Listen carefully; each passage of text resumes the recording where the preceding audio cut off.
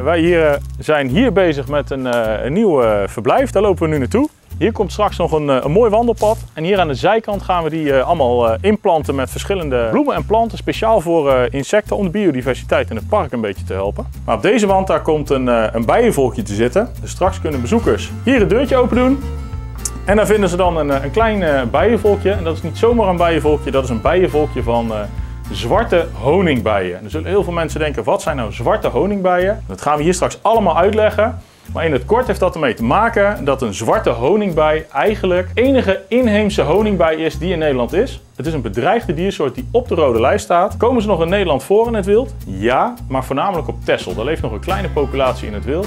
Daarom mogen er ook geen andere bijen zomaar naar Texel toe om die populatie eh, te beschermen. We werken daarmee samen voor Richting de Zwarte Bij. Die is voornamelijk actief in Vlaanderen, maar ook in Nederland zijn ze die eh, steeds meer bekendheid aan het geven. En dat eh, proberen we door middel van het huisje ook te doen. Straks zie je hier een bijenvolkje en er komt een eh, glazen buis aan te zitten waardoor je de bijen kunt volgen.